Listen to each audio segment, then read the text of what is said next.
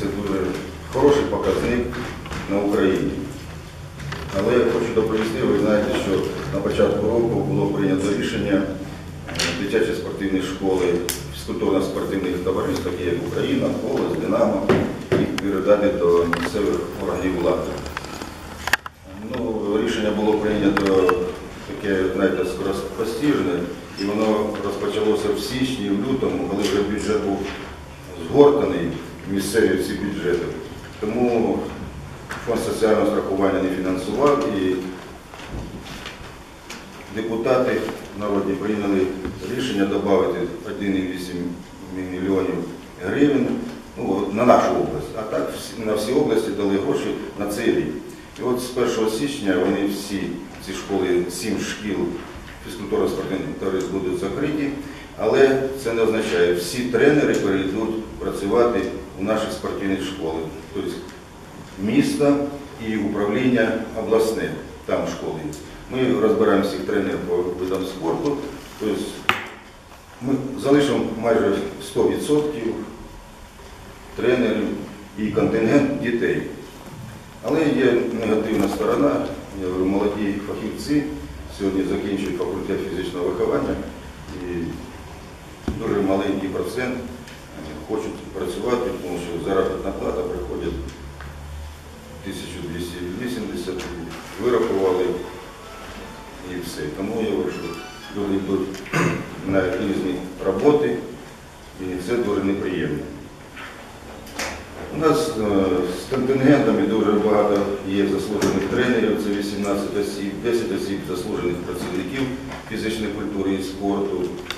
За цей період в січні серпень підготовлено один майстер спорту міжнародного класу, це Буніна, яка на чемпіонаті України виконав цей норматив, і 5 майстрів спорту України.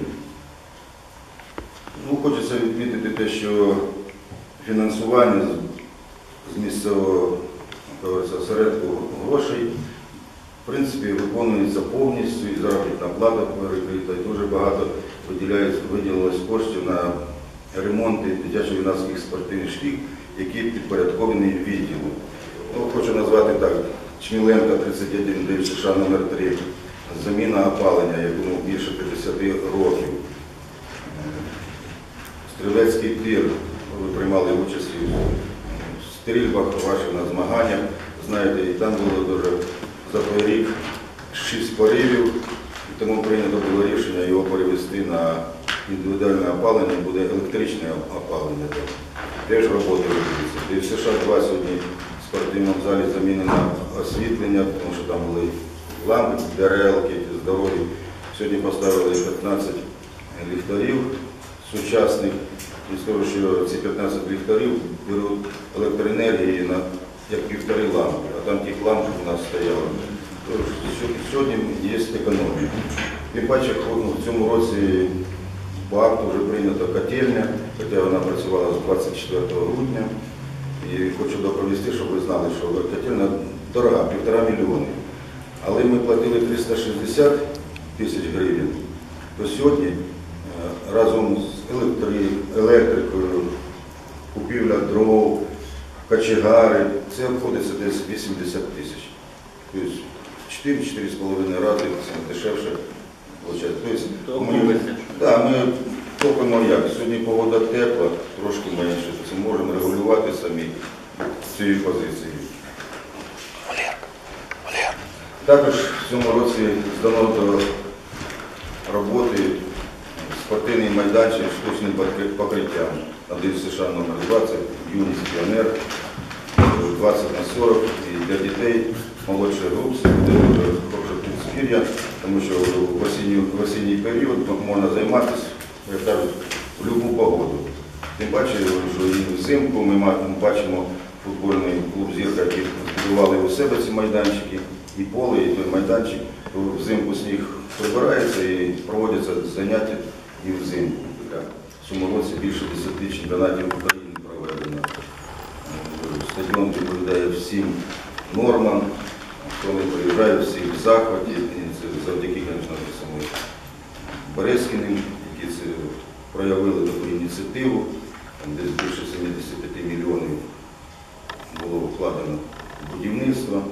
І крім цього, я скажу, що це більше 10, це 500 учасників, тренерів, представників приїжджають, це вони привозять гроші на нас, вони залишаються. Яким чином? Хто спить, хто їсть, хто ще в ресторані посидів трошки ввечері. І ці кошти залишаються в місті Кіровограді. Це дуже приємно. Що хочеться ще сказати? Крім цього, у нас є Микола Іванович Аношкін, який очолює спорт для всіх. Кожен місяць у нас проводиться до десятка заходів, дні здоров'я, які називаються, вони проводяться у школах за місцем проживання. І от зараз буде День міста, там і разом з депутатами будуть проводитися заходи е, до, нашого дня міста. І День міста, я зразу говорю, що 19 числа буде в суботу в парку Пушкіна. Я вас запрошую туди, там буде таке культурно-спортивне свято, в основному для дітей. Нема такого направлення сьогодні. Ви знаєте, що святкувати такого ми не можемо. А для дітей життя продовжується, ми хочемо для дітей зробити там і концерти невеличкі, і ігри різні, виставки, щоб діти побували і побачили, і познайомилися з видами спорту, з культурою нашою, там освіта виставить і поділки, які роблять. Тобто, я думаю, що буде весело для всіх. Ну і відмітити, що наша бейсбольна команда по 20-й раз стала чемпіонами України. Най- ну, це вони порівняли з гандбольним клубом Спартак Київ. Пам'ятаєте, яка команда була?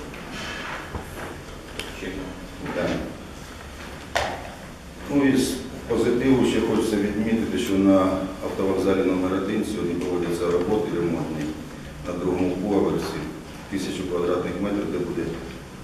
тренажерний зал,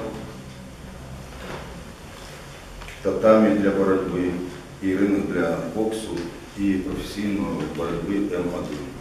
Це Табалов Андрій е, проявив таку ініціативу. Сьогодні там проводяться ремонти. За кошти, я не знаю, це інвестор робить.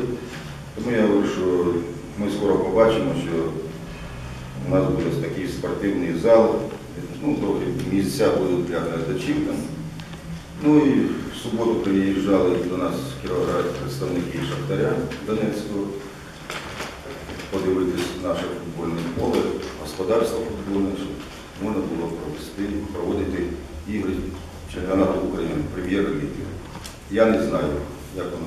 Вони приїхали сюди, поїдуть в Черкаси, тобто, ну, вони вибирають, тому що Львів щось важко, важко морально. Якщо в Лігі чемпіонів за них боліють, то в тому чемпіонаті за них не боліють. Краще до центру.